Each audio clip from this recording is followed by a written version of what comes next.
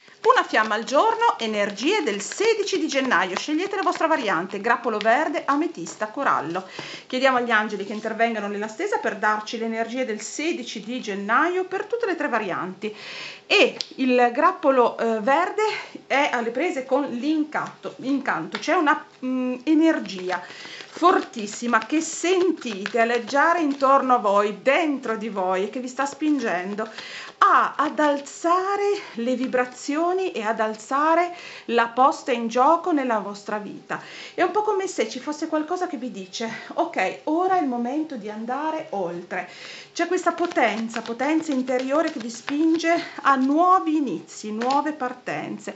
Avete imparato le lezioni, avete concluso il passato, avete lavorato sulle vostre ferite, vi siete, diciamo, eh, guariti, avete fatto un lavoro enorme, ora sentite che è necessario andare avanti. Quindi siate molto attenti a quello che è questo incanto interiore che vi sta spingendo a delle azioni concrete. Attenzione che eh, c'è molta differenza tra l'incanto dell'anima e il desiderio della mente.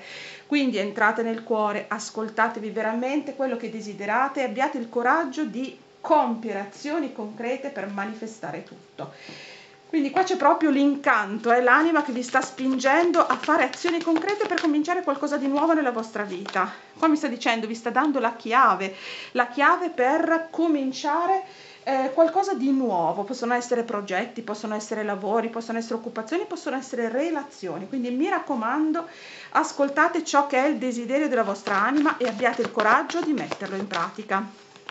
E c'è il mondo, guarda qua che eh, meraviglia, c'è un qualcosa che state sentendo dentro e se avrete il coraggio di metterlo in pratica con azioni concrete, il risultato sarà eccezionale e i desideri, ametista, l'ametista è alle, è alle prese con i suoi desideri, c'è tanta energia interiore che sta spingendo anche quel, diciamo, coloro che hanno scelto l'ametista, c'è tanto, allora è un po' come se si fosse spalancato dentro di voi una porta nascosta in cui i desideri, anche i desideri lontani, eh, possono essere, cioè sono liberati, è un po' come qua si stanno dicendo, eh, c'è un desiderio di andare andare a creare una realtà altissima in risonanza con i desideri che si sono sentite dentro, c'è un'energia importantissima, viene un po' di rimando al senso dell'incanto, l'energia sta chiamando dentro di voi a una manifestazione di un qualcosa di bellissimo e perfetto.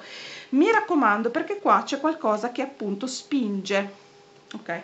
Spinge la vostra anima alla manifestazione.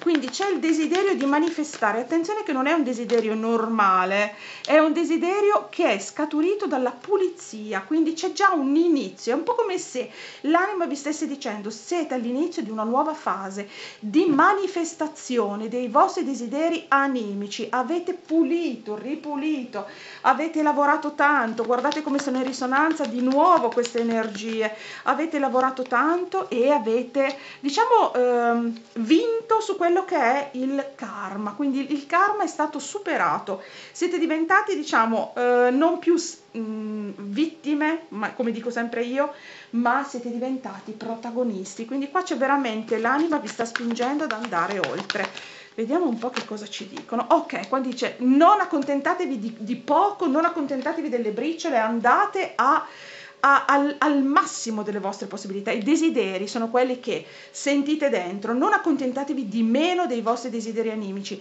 anzi siate disposti proprio a manifestare tutto quello che è il, la magnificenza di questi desideri. E quindi partirete per una nuova avventura, non siate limitati, diciamo, vostre, nel voler manifestare i desideri, andate al massimo possibile perché l'anima non ha confine, siamo noi che diamo i nostri confini, non dateli troppo bassi, anzi spalancate questi confini, eliminate questi confini e partirete per una nuova avventura meravigliosa. E sovranità per il corallo, qua c'è eh, entrare nella sovranità interiore e andare a capire quello che c'è dentro. E siamo sempre lì che eh, il lavoro va fatto dal di dentro. C'è ancora qualcosa da guarire, c'è ancora qualcosa da guarire per potersi appropriare eh, della, della, propria sovranità, ma continuate ad ascoltare le vostre emozioni, continuate a capire che cosa vi stanno comunicando. Le vostre ferite vi stanno comunicando qualcosa di importante, vi stanno dando la chiave per risolvere i vostri eh, diciamo i vostri problemi. La guarigione sta proprio nelle, nell'ascolto delle ferite e se sarete in grado di farlo porterete com- a completamento questo cerchio, guarirete e allora entrerete veramente in risonanza con quella che è la vostra sovranità interiore. Vediamo un po'. Eh sì, e allora si manifesta veramente, diciamo che tutto viene illuminato, quindi capirete che cosa, perché certe cose sono successe, capirete il motivo di tante cose che in questo momento non capite. Quindi liberate, liberate la mente, liberate, eh, diciamo, ascoltate quelle che sono le emozioni e, e, e, guarite le vostre ferite, perché proprio nelle vostre ferite sta la chiave della, della risoluzione di tutto.